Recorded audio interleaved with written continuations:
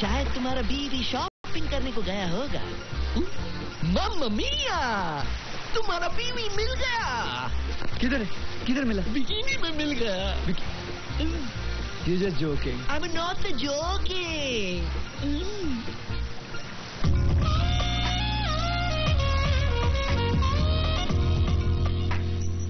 शर्म और लाज तो औरत का गहना होता है। लाज। कहना इन तीनों में से इसने कुछ नहीं पहना।